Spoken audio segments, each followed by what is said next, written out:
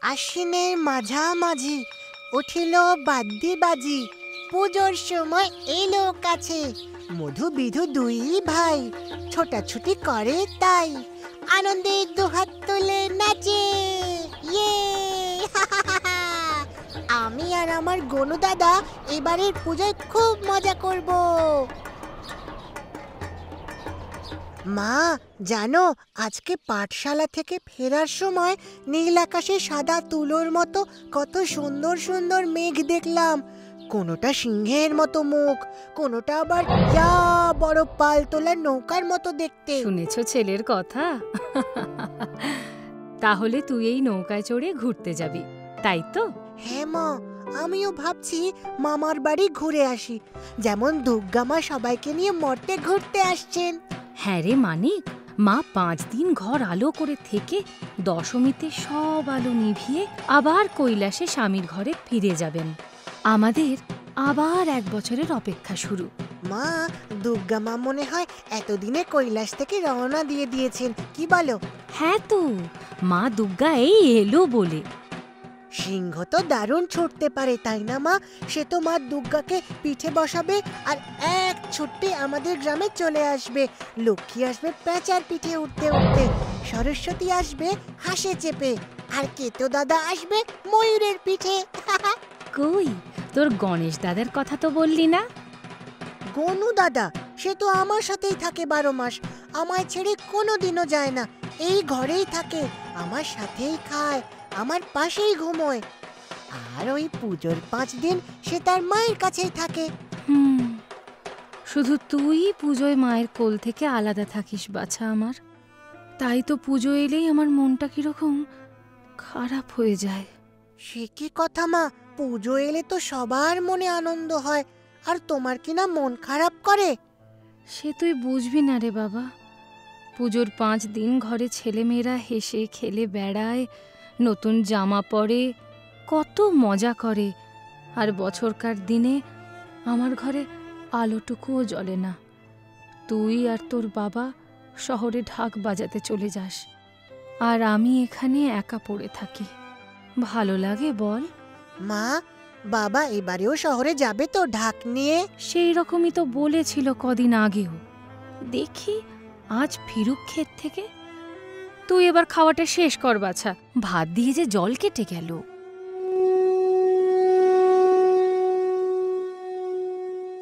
ও মা আমার জামার ব্যাগটা কোথায়? কিছুতেই খুঁজে পাচ্ছি না। একটু দেখো না মা। দেখেছিস লক্ষ্মী? এই জন্য বলি এত ডায়েট না করে আমার মতো ঘিয়ের লাড্ডু খা। দিনে এক কিলো করে। সাথে দশ মন দুধ। দেখবি মাথা পই পই করে দৌড়বে। এর সাথে আমার ডায়েট করার কি সম্পর্ক? ডায়েট করে করে তোর শরীরের ক্যালোরির সাথে মাথার বুদ্ধিগুলোও ঝরে গেছে। তাই তো মনে করতে পারছিস না কোথায় কি রেখেছিস। কোনু এটা কিন্তু ভালো হচ্ছে না। মা! ও মা!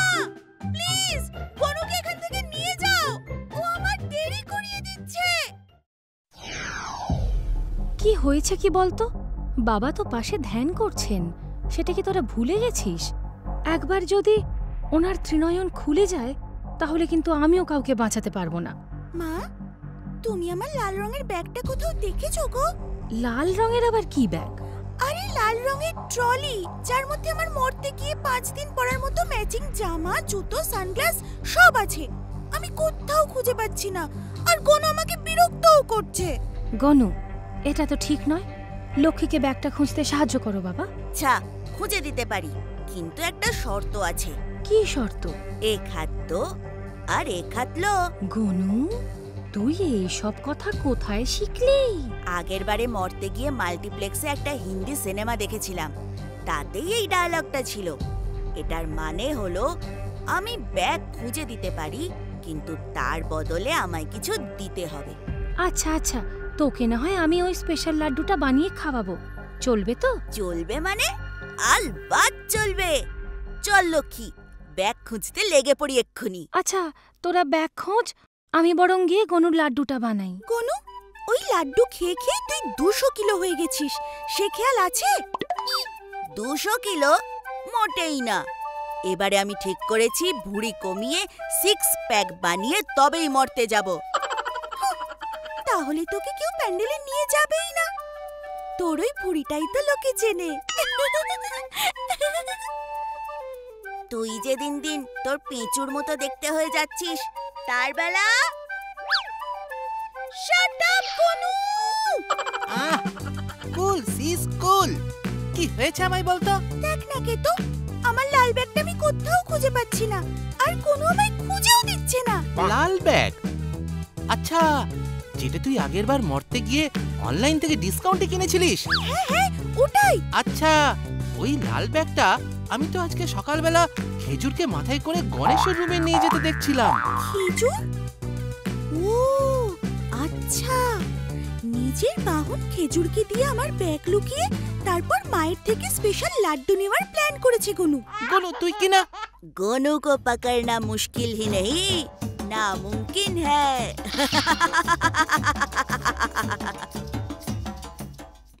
মা আমার লাড্ডু কোথায় তুই এত তাড়াতাড়ি চলে এলি বাবা হ্যাঁ মা আমি ব্যাগ খুঁজে দিয়েছি আমার পুরস্কার দাও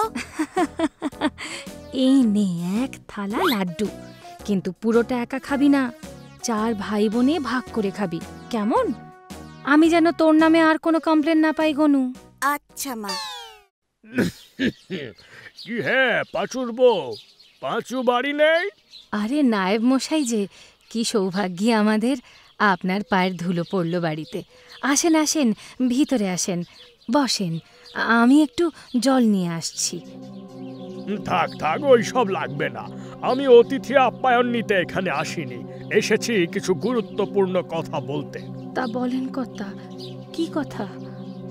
আহ আহ, নাটক করো না নাটক করো না। বলি মহালয়া তো হয়ে গেল কিন্তু এখনও খাজনা বাবদ টাকা তো জমিদার বাড়ি পৌঁছলো না। না মানে কথা? মানে টানে কি? জানো জানো জমিদার বাড়িতে পুজোর কত খরচ? সারা গ্রামের কাঙালিরা তো ভিড় করবে গিয়ে দুবেলা খাওয়ার খেতে। বলি খাজনা না দিলে সেই খরচা উঠবে কি করে শুনি হ্যাঁ? সারা গ্রামে ওই একটাই পুজো হয় কর্তা। তাই সবাই আমরা মিলে মাকে দেখতে ওখানে ভিড় জমাই। আর যাবই বা কোথায় বলেন? আমাদের আরেকটু সময় দেন যদি। পুজোয় ওর বাবা শহর থেকে ঢাক বাজিয়ে ফিরলে আমি আপনাকে সব টাকা দিয়ে আসব কর্তা মশাই অত সময় দেওয়া যাবে না। বোধনের আগে যদি টাকা না দাও, তাহলে এই পুজোয় আর তুমি জমিদার বাড়িতে ঢুকতে পারবে না। আর দুর্গা মাকেও চোখের দেখাও দেখতে পাবে না।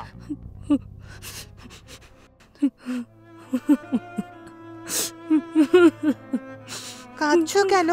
কেঁদো না মা। আমরা যে গরিব মানি আমাদের ভাগ্যে কান্না ছাড়া তো আর কিছুই নেই রে। এবারে তো মা দুর্গাও আমাদের থেকে মুখ সরিয়ে নিলেন রে মানিক। না মা তুমি চিন্তা করো না। দেখবে গনুদাদা ঠিক আমাদের সাহায্য করবে। বউ ও বউ দেখো আমাদের কি সর্বনাশ হয়েছে। সর্বনাশের আর কি বাকি রয়েছে গো? নাই বেশি শাসিয়ে গেছে যদি টাকা দিতে না পারি তাহলে এই বছরের মতো মাকে চোখের দেখাও দেখতে পাবো না। কিন্তু মা বাবা তো শহরে যাবে ঢাক বাজাতে আর বাবা ফিরলেই আমরা সব টাকা শোধ করে দিতে পারব।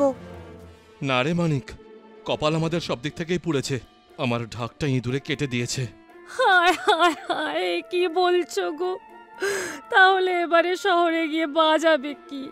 শহরে যাওয়া আর হবে না রে বউ। মা লক্ষ্মী এবার আমাদের থেকে মুখ ফিরিয়ে নিয়েছেন। বাবা এটা সারিয়ে নিলে হয় না? সারাবো কি করে? আমার মুখ থেকে কি আর কেউ সারিয়ে দেবে? একবার ধীরেন্দার কাছে গিয়ে দেখো না কাল যদি কিছু সাহায্য করে। হুম তা না হয় যাব। কিন্তু অপমান ছাড়া আর কিছুই জুটবে না রে বউ। গনু দাদা এবার তুমি একটা ম্যাজিক করে দাও না গো। যাতে মা সব টাকা শোধ করে দিতে পারে। আমার তো তুমি ছাড়া আর কোনো বন্ধু নেই যে আমায় সাহায্য করবে বলো।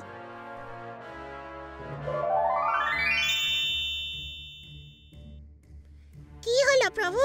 আপনি লাড্ডু হাতে নিয়ে মুখে তুলছেন না কেন? না না খেজুর।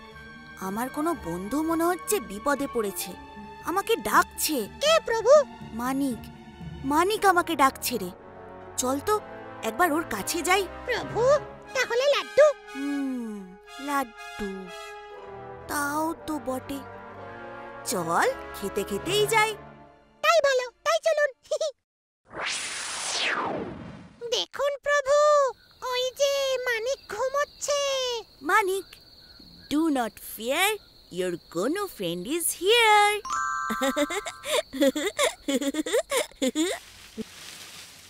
যাক বাবা দুটো ফল পাড়া গেল অবশেষে।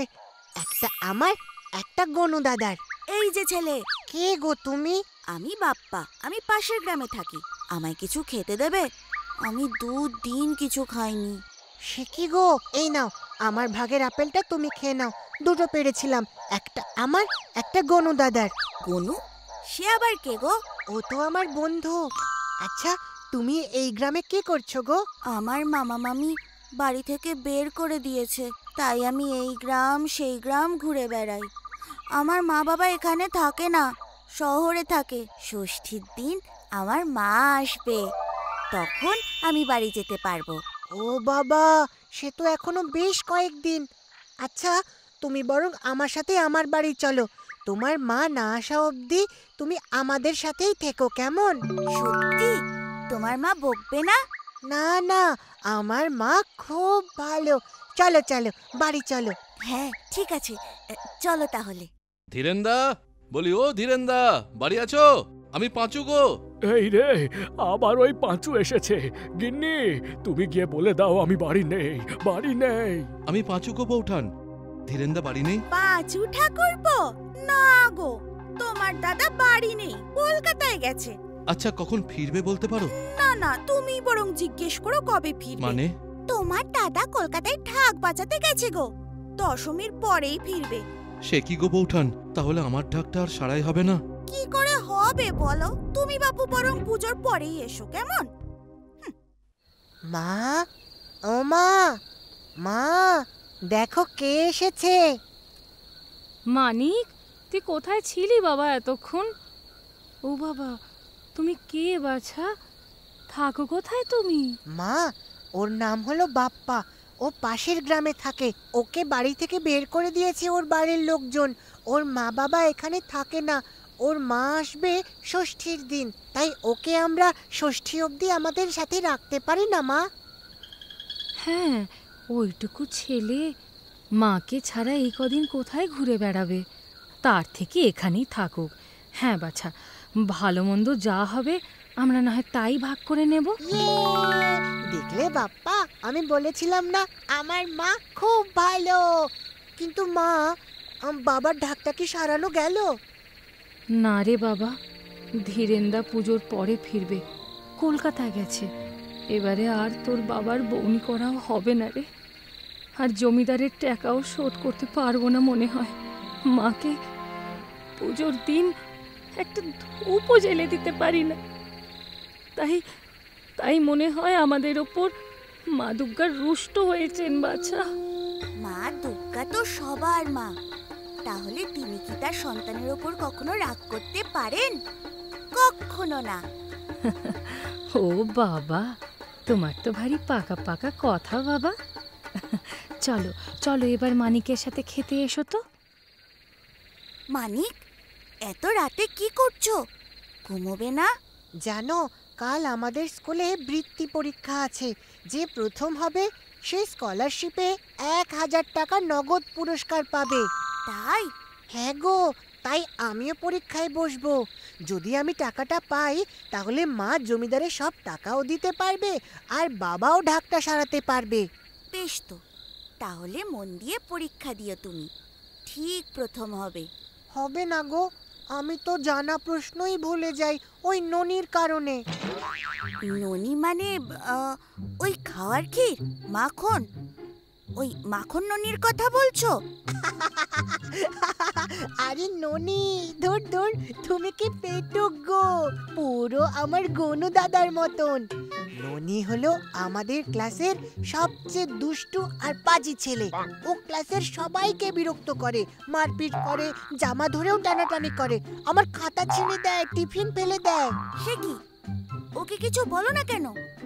ও মানুষ না ছোটখাটো একটা অসুর তুমি খুব মজার জানো তো বাপ্পা। ঠিকই বলেছ ও একটা অসুরই বটে। কিন্তু ওর বাবা জমিদার বাড়িতে মস্ত কাজ করে তাই কেউ ওকে চটায় না। কিছু বললে ওর বাবা তাকে খুব হেনস্থা করে খুব হেনস্থা করে। দাঁড়াও ওই অসুরকে আমি জব্দ করব। তারপরে আরও কোনো দিন কাউকে বিরক্ত করবে না। তুমি শুধু তোমার কর্ম করে যাও মানিক। কিরে আজ পরীক্ষায় তুই ফেল করবে তো। কেন? আমি ফেল করতে যাব কেন? আমিও পাশ করব। কি ভাগ্যিস বলিস নি তুই প্রথম হবি। হতেই পারি না হওয়ার কি আছে? শোন তুই গরিব চাষির ছেলে তুই অতগুলো টাকা কোনোদিন একসাথে দেখেছিস নাকি? তাই এই প্রথম হওয়ার টাকাটা আমার হাতেই মানায়। খুব খারাপ হচ্ছে কিন্তু তুই আগের দিন আমার খাতা ছিঁড়ে ফেলেছিলিস তবু আমি তোকে কিচ্ছু বলিনি। কিন্তু আমার বাবাকে নিয়ে কিচ্ছু বলবি না। সকলে শোনো আজ পরীক্ষায় প্রশ্নপত্র কিন্তু খুব কঠিন। সবাই খুব মাথা ঠান্ডা করে লিখবে। ওরে বাবারে একে আমি অঙ্কে গোল্লা তাও আবার কঠিন প্রশ্ন। ব্যাস আমি তো শেষ। কিরে ফেলটুস চিন্তা হচ্ছে বুঝি? এই শয়তান ননি তোকে বারণ করেছি না? পরীক্ষার সময় কাউকে বিরক্ত করবি না? স্যার ওই পুরস্কারটা কিন্তু আমি পাবো। নইলে আমার বাবা এই স্কুলটাই তুলে দেবে। ননি চুপ করে বসে পরীক্ষা দে। কি বাজে ছেলে রে বাবা। তোর অহংকার আজকেই চূর্ণ করব দাঁড়া। রে বাবা আমার তো সব প্রশ্নই জানা মনে হচ্ছে। কি হলো ব্যাপারটা? আমার তো অঙ্ক দেখে ভয়ও করছে না। কি হলো ব্যাপারটা? আমার পেনটা এগোচ্ছে না কেন? মনে হচ্ছে যেন কেউ আমার পেনটা ধরে রেখেছে। তাড়াতাড়ি লিখে ফেলি বাবা পাছে ঘণ্টা পড়ে যায়। হ্যাঁ।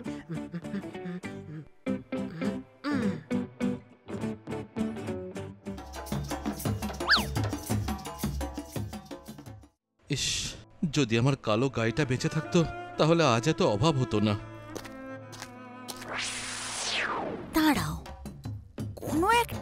উপায় তো আমি নিশ্চয়ই করব।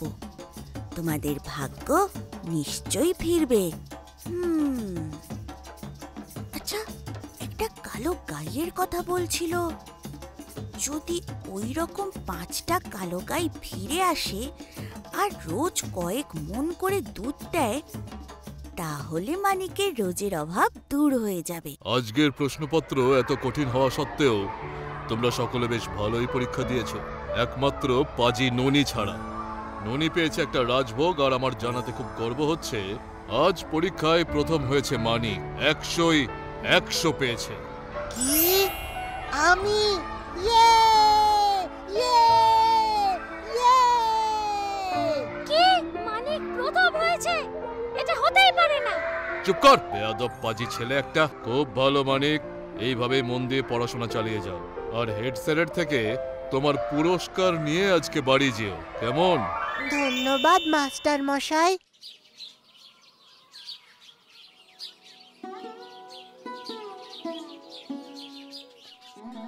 এ কি? এ দেখছি আমি? মা দুর্গা এতগুলো গরু আমার গোয়ালে এলো কি করে? কি করে এলো মা গো? এই সবই তোমার দয়া মা। জয় মা দুর্গা জয় মা দুর্গা জয় মা দুর্গা। মা ও মা জানো আজ স্কুলে কি হয়েছে? আমি পরীক্ষায় প্রথম হয়ে এক হাজার টাকা বৃত্তি পেয়েছি গো। এবার বাবা ঢাক সারাতে পারবে মা। তুমিও জমিদারের টাকা ফেরত দিতে পারবে। আর দুঃখ থাকবে না আমাদের। বাবা আমার এই দেখ আমাদের গোয়ালে পাঁচ পাঁচটা কালো গরু স্বয়ং মা দুর্গা পাঠিয়েছেন রে। সে কি বলছো গো মা? আর জানিস বাবা আজ আমার বিয়ের এত বছর পর তোর দাদু দিদা আমাদের ওপর রাগ কমিয়ে বাড়ির পুজোয় আমাদের নেমন্তন্ন করে চিঠি পাঠিয়েছে রে। কিন্তু মা দাদু তো বাবা গরিব বলে আমাদের সাথে যোগাযোগই রাখতো না। সেই দাদু নিজে চিঠি পাঠিয়েছেন। হ্যাঁ রে বাছা হ্যাঁ। স্বয়ং মা দুর্গা যখন আশীর্বাদ করেন তখন সব দিক থেকেই উনি ভরিয়ে দেন। জয় মা দুর্গা জয় মা দুর্গা। জয় মা দুর্গা জয় মা দুর্গা। জয় মা দুর্গা। মানিক? চলো এবার তোমার বাবার কাছে যাই। ওই ঢাকটা সারাতে হবে তো। হ্যাঁ চলো চলো চলো বাবার হাতে গিয়ে টাকাটা তুলে দি। ও বাবা এই দেখো তোমার ঢাক সারানোর টাকার জোগাড় গনু দাদা করে দিয়েছে। কি বলছিস রে বাবা? এত টাকা তুই পেলি কোথায়? বাবা সে অনেক কথা গো। এবার তুমি শহরে বায়না পাবে আর ফেরার সময় আমার জন্য আর মায়ের জন্য নতুন জামা কাপড় কিনে আনবে। কেমন? মা দুর্গার অশেষ কৃপা তিনি পুজোর সময় আমাদের ঘর অন্ধকার রাখেননি। তার কৃপার আলোয় তিনি আলোময় করে তুলেছেন। জয় মা দুর্গা। জয় মা দুর্গা! মানিক? বাপ্পা তুমি? আমায় তুমি গণপতি বাপ্পা কিং বা গনু যে কোনো নামেই ডাকতে পারো। আমরা তো ফ্রেন্ড তুমি আমায় ডেকেছিলে আমি না এসে পারি। কিন্তু মানিক কাল থেকে তুমি আর ননিকে ভয় পাবে না। সাহসিকতার সাথে অন্যায়কে রুখে দাঁড়াবে। কেন? তুমি কি চলে যাচ্ছ? আমার তো মা আসবে ষষ্ঠীতে। বলেছিলাম না। ও তুমি সেদিন দুর্গা মায়ের কথা বলেছিলে তাই না? আমি বুঝতেই পারিনি। আমি তোমার গনুর মধ্যেই সব সময় থাকব। তুমি ডাকলেই আমায় পাশে পাবে। বাপ্পা! গণপতি বাপ্পা। কি রে মানিক কি হয়েছে? বাপ্পা কই মা? ও তো সকালেই বাড়ি চলে গেছে বাবা। বলল ওর মা নিতে এসেছে। মা গনু দাদার মা। তার মানে মা দুর্গা এসে গেছেন তাই না? জয় দুর্গা মায়ের জয় জয়।